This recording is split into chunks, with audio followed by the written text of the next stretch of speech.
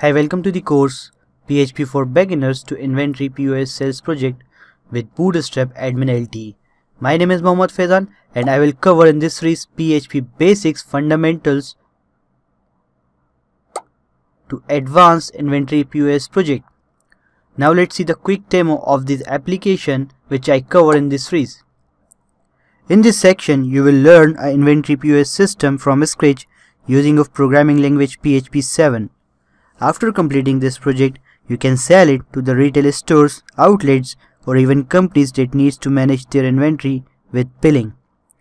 This is the unique course where I will teach you step by step the basic fundamentals of PHP to the advanced point of sale system. You will learn how we can use admin LTE dashboard which is great open source dashboard for creating responsive web applications. You will learn how we can use jQuery data table plugin for pagination the records.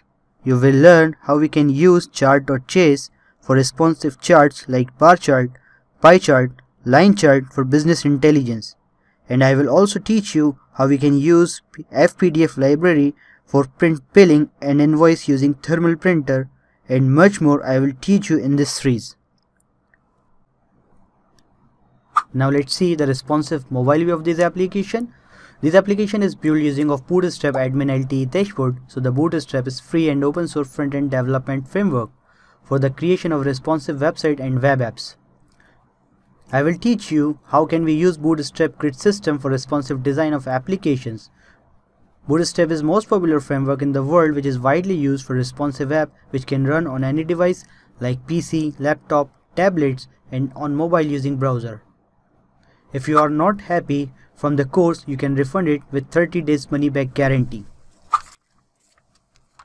If you want to see that live demo of this application, you can visit below link for live demo of Inventory POS project. So enroll now and get the unlimited benefits.